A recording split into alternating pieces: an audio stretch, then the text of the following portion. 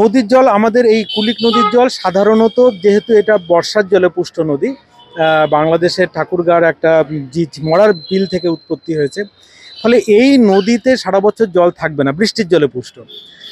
কিন্তু সারা বছর যদি জল থাকে, তার জন্য আমাদের উত্তর দিনাজপুর জেলা প্রশাসন কুলিক নদী পুনরুজ্জীবন বলে একটা প্রকল্প চালু করেছিল। সেই প্রকল্প শুধু এখন কিন্তু ব্যানার পোস্টারে রয়ে গিয়েছে। সেটা কিন্তু বাস্তবায়িত, আর তার কাজকর্ম আমরা দেখছি না। কিছু কাজ হয়েছে, কিন্তু সদর্থক প্রয়াসটাকে লাগাতার চালিয়ে যাওয়া যদি প্রশাসন নিতে পারে, তবে কিন্তু কুলিক আবার নতুন করে বেঁচে উঠবে। আমাদের নিজেদের স্বার্থেই কিন্তু কুলিককে বাঁচিয়ে রাখতে হবে। কুলিক তো রায়গঞ্জের তথা উত্তর দিনাজপুর জেলার লাইফলাইন বলা যেতে পারে। সুতরাং নদী যদি দূষণ হয়, তাহলে নদীতে অবস্থিত যে ইকোসিস্টেমটা সামাউ হ্যাম্পার তো হবেই ডিস্টার্ব হবেই। তো তাতে মাছও মারা যাবে, জলজ প্রাণী মারা যাবে এবং এটা পরিবেশের উপরে একটা বাজে প্রভাব ফেলবে। তো এটা একটা আবেদনও থাকবে মানুষজনের কাছে যারা রয়েছেন যে চেষ্টা করবেন যে বর্জ্যপদার্থ যাতে নদীতে না ফেলা হয়। কারণ তার জন্য মিউনিসিপ্যালিটি কিন্তু শহরকে পরিষ্কার রাখার জন্য সব রকম চেষ্টা করে যাচ্ছে। এবং আমরা জানেন যে মিশন নির্মল বাংলাতে মানে বিভিন্ন মিউনিসিপ্যালিটি এবং ব্লক সব জায়গাতে কিন্তু বর্জ্য পদার্থ কালেকশান সেগুলোকে আবার আমরা রিসাইক্লিং করছি। সব রকম চলছে, বাড়ি বাড়ি থেকে ময়লা কালেকশন হচ্ছে। তারপরে মানুষজনকে সচেতন হতে হবে যাতে আমরা কোনো রকম কোনো বর্জ্যপদার্থ যাতে নদীতে না ফেলি। রায়গঞ্জের বুক চিরে প্রবাহিত কুলিক নদী। বর্ষার জলে পুষ্ট এই নদী একসময় ছিল স্রোতস্বিনী। কিন্তু কালের নিয়মে কুলিক নদী তার ঐতিহ্য হারিয়েছে। বর্তমানে নদীটি মৃতপ্রায় অবস্থা। এতেই উদ্বিগ্ন হয়ে পড়েছেন পরিবেশপ্রেমী মানুষজন। নদীতে যে হারে আবর্জনা ফেলা হচ্ছে, তাতে কুলিক নদীর জল কমে যাওয়ার পাশাপাশি তার নাব্যতা হারিয়ে যাচ্ছে।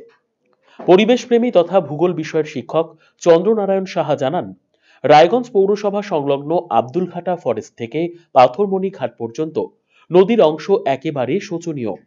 কুলিক তার নিজস্বতা হারিয়ে ফেলেছে। তিনি জানান, এর জন্য সাধারণ মানুষের অসচেতনতা অনেকটাই দায়ী। সাধারণ মানুষ কুলিক নদীতে নোংরা আবর্জনা ফেলছেন। এছাড়াও নদীর জল তুলে তাতে রাসায়নিক ব্যবহার করে সেই জল আবার নদীতেই ফেলা হচ্ছে। এতে জলের পিএইচ ব্যালেন্স নষ্ট হচ্ছে। হারিয়ে যাচ্ছে কুলিকের প্রসিদ্ধ নানান মাছ। এতে বিঘ্নিত হয়ে পড়ছে নদীর বাস্তুতন্ত্র। নদী দূষণের ফলে তীরবর্তী মানুষজন, বিশেষ করে চর্মরোগ সহ বিভিন্ন সমস্যায় জর্জরিত। কুলিক নদীর ঐতিহ্য ফেরাতে জেলা প্রশাসন কুলিক পুনরুজ্জীবন প্রকল্প চালু করেছিল। সেটিও এখন বিষ বাঁও জলে। তাই অবিলম্বে এদিকে প্রশাসনের নজর দেওয়া উচিত বলেই মনে করছেন পরিবেশপ্রেমীরা। কুলিকের পরিস্থিতি বলতে একেবারে কুলিকের অবস্থা, বিশেষ করে আমাদের রায়গঞ্জ পৌরসভা সংলগ্ন যে এলাকা, সেখানে আব্দুল আব্দুলঘাটা ফরেস্ট থেকে শুরু করে পাথরমণি ঘাট অবধি কুলিকের অবস্থা সত্যি মানে আমাদেরকে নিরাশায় ফেলছে। কুলিক আর তার নিজস্ব জায়গা হারিয়ে ফেলেছে, তার বাঘ সরে গিয়েছে কুলিকের মধ্যে যেভাবে আবর্জনা ফেলা হচ্ছে, তাতে আগামী দিনে আমরা ইতিমধ্যে এবছরই শুরু হয়ে গেছে যে আমরা পানীয় জলের অভাব দেখতে পাচ্ছি।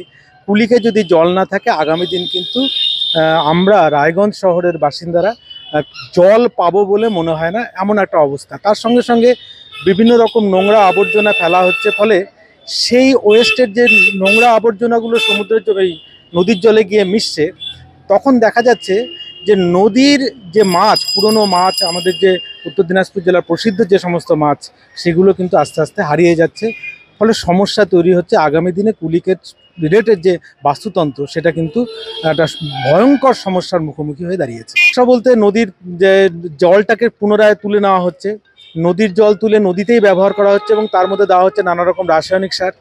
ফলে নদীর জল আলটিমেটলি কিন্তু আবার তার যে নিজস্ব বাস্তুতন্ত্র, সেটা হারিয়ে গিয়ে পিএইচ নদীর জলের পিএইচ নষ্ট হয়ে গিয়ে নদী কিন্তু একেবারেই বেঁচে থাকার জন্য আদর্শ হচ্ছে না।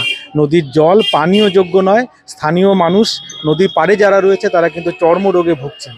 এ বিষয়ে রায়গঞ্জের মহকুমা শাসক কিংসুক মাইতি জানান, নদী দূষণের জন্য তীরবর্তী বসতির মানুষের অসচেতনতা অনেকাংশে দায়ী। এছাড়াও নদীর নাব্যতা কমে গিয়েছে, ফলে ড্রেজিং করানো গেলে সমস্যা অনেকটাই মিটবে।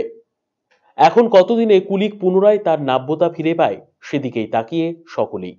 কুলিক নদীতে বলতে কুলিক নদী তো একটা লম্বা স্ট্রেচে রয়েছে, কিন্তু স্পেসিফিক্যালি যে পোর্শনটুকুতে আমাদের কুলিক নদীর দুধারে জনবসতি রয়েছে মেনলি আমাদের মিউনিসিপ্যালিটির পোর্শন আর কিছু আমাদের সাবারবান এরিয়াগুলোতে তো সেইখানে মানে দূষণ ছড়াচ্ছে, তার প্রধান কারণ হচ্ছে যারা কুলিক নদীর আশেপাশে যে মানুষজনরা থাকছেন তারা নদীতে সম, বিভিন্ন আর কি দূষিত পদার্থ ফেলছেন।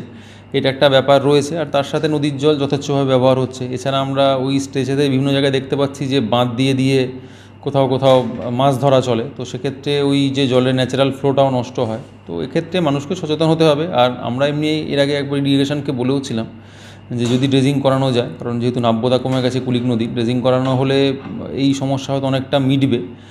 তো দেখা যাক, এখন ফান্ডেরও একটা ব্যাপার রয়েছে।